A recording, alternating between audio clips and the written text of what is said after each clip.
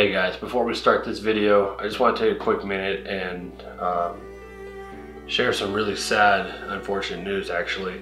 I'm sure a lot of you have already heard, uh, but we lost arguably one of the most contributing and important members to conservation and education in the reptile hobby uh, over the weekend.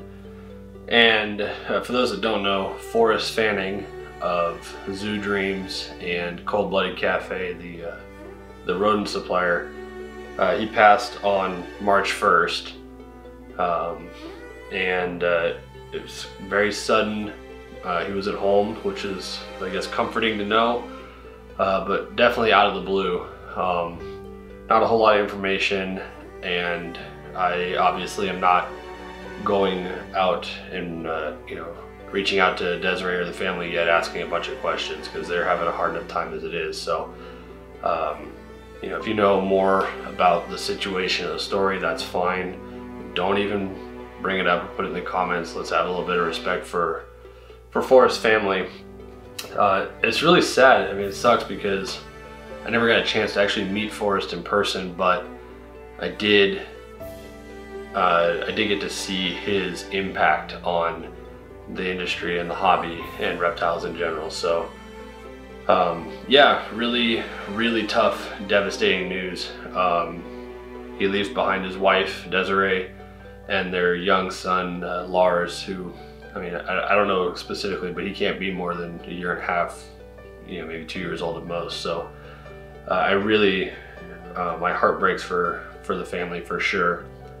Um, again, I don't know any of the particulars behind the situation, but it does bring to light, if nothing else, um, you know, keep your family close, keep your loved ones close, and by God, if you need anything, any any help, if you're just not feeling it for whatever reason, reach out to somebody.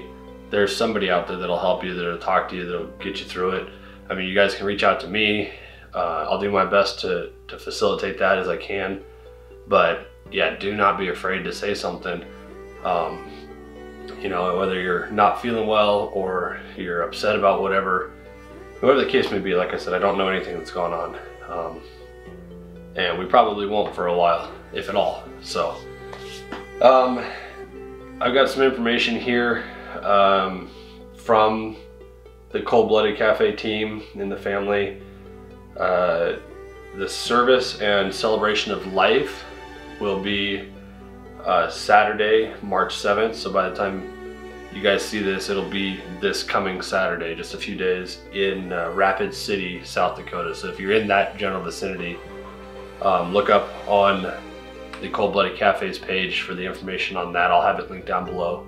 Uh, that's this coming Saturday, March 7th, is a celebration of life for Forrest in Rapid City, South Dakota. And then there will be a much more grand, I'm sure, um, memorial service at the Tinley Park Expo next weekend, uh, March 14th and 15th. I'm sure that everybody at, at Tinley, uh, Phil Goss of NARBC, the whole nine yards, I'm sure they're going to be well involved um, of celebrating the contribution that Forrest had to this industry. So, um, yeah, really sad, somber news for sure. There is a GoFundMe page current for Desiree and Lars. It'll be the very first link below uh, this video. And uh, if you can help out in any way, shape, or form, please do. Um, like I said, it'll be the first link down there. Go out and help the family. They obviously, you know, money doesn't bring Forrest back, but it uh, it certainly can help ease any uh, any struggles or stress that uh, Desiree is going through currently, trying to deal with everything else with Forrest collection and you know the whole nine yards. There's a lot of people very close to the family that are dealing with all of that, so um, I would ask that you honor their, their request to just kind of give them some time to grieve and get through it, and the people close to the family know what they're doing and helping out. But if you can, uh, if you can help in any way, like I said, the GoFundMe links, the first one down there, and then below that will be a link to um, the Cold Blooded Cafe Facebook page where all the info will come up for the memorial service and the celebration of life. So I hate to open the video in a somber mood, but um, it's just something to remind all of us that every day is uh, is not guaranteed. So um, yeah, just take that to heart and let's let's move on to the video, which should hopefully bring in some joy and some good news uh, to the rest of your day. I hope all you guys are doing well, and I'll see you in the next one. Thanks.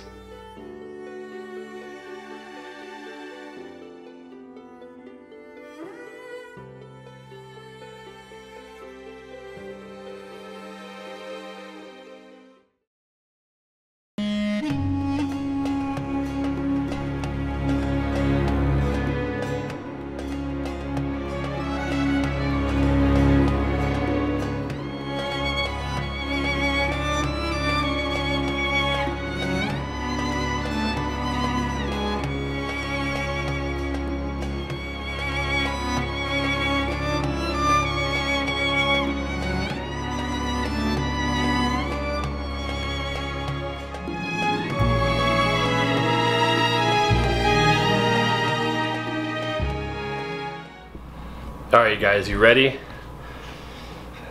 I can't believe I'm finally sharing this with everybody. This was a top secret deal uh, all year, and we were gonna keep it that way, but now it's time for everyone to know. I've got this unmarked tub right here on purpose so that you couldn't catch it in the background in any of the videos. And if you look at it, it says 829. That seems like a long way away still. I mean, you look at some of my other berry breedings and they say like March 20th and March 23rd. That says August 29th. Oh well, let me show you what we've been working on.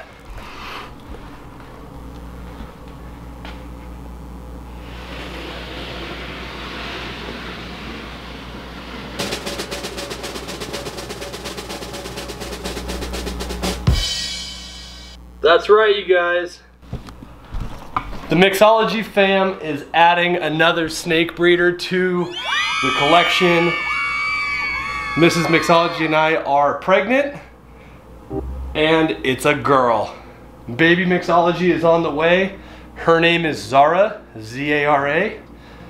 Zara Louise Bigler is on her way. I am so freaking excited and terrified, by the way. Uh, some of you guys have kind of kind of been picking up on some hints I've been putting down saying that we had a lot of stuff going on in life. That's it.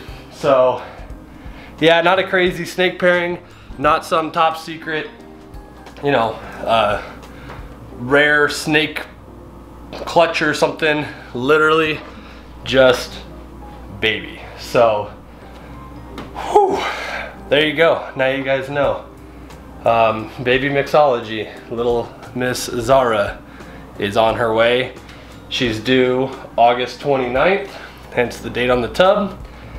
Um, everything's going really well. Mrs. Mixology is doing great. Little tummy issues, of course, that's to be expected. But uh, yeah, big deal going on over here. Uh, it's probably going to take me away from YouTube and Instagram a little bit as we get closer and obviously after she gets here. Um, but, you know, I'll do my best to stay with it and we're gonna hopefully raise a new little snake keeper and breeder here at the at the Bigler house. Um, I'm super excited, scared, nervous, anxious, well, I had to change cameras. The other one died, and this card doesn't work in that one, even though they're both Canon cameras, so who knows.